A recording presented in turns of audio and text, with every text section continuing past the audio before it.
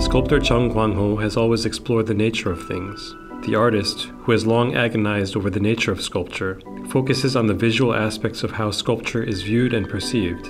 He creates a shape by cutting copper wires and connecting them with low temperature welding. The 8mm thick copper wire will be formed into a leaf, a flower petal, or a ceramic jar, which, despite their wire frames, all reveal the poetic and lyrical aesthetic of the artist.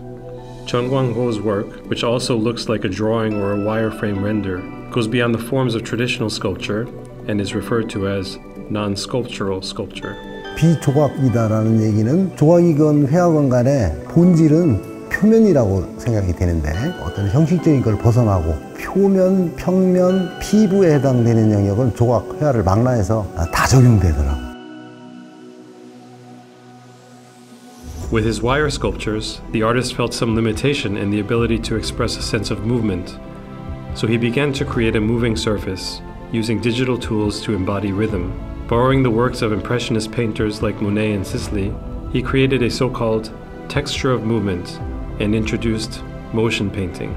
The artist calls it time painting, and it is spreading a new world that can be sensed through motion.